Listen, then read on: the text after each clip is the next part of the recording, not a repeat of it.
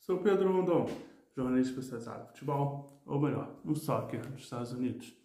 No 13º episódio do USA Super Soccer Podcast, vou falar da contratação do Austin FC, o veterano meio-campista Ethan Feeling. Ethan Feeling já está desde 2012 na Major League Soccer, para vocês verem como o tempo passa rápido. Ele disputou cinco temporadas pelo Columbus Crew, se destacando lá entre 2015 e 2014. Em 2015 ele marcou 12 gols e fez 13 assistências e em 2014 ele marcou 11 gols e fez 7 assistências.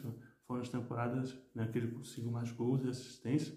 Depois ele foi para o Minnesota, onde ele jogou também 5 temporadas. Foi um jogador importante na equipe do Minnesota, né, que disputava a North American Soccer League, depois migrou para a MLS.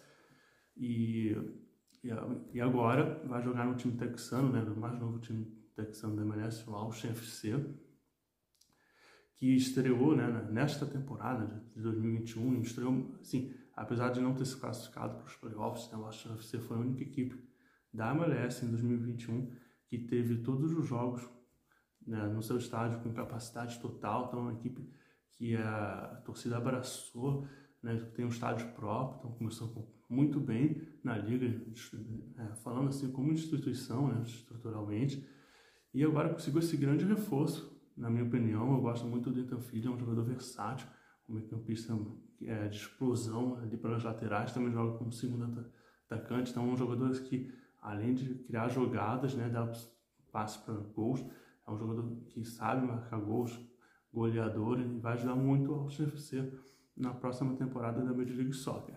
Então, isso foi tudo por hoje, espero que tenham gostado e até a próxima.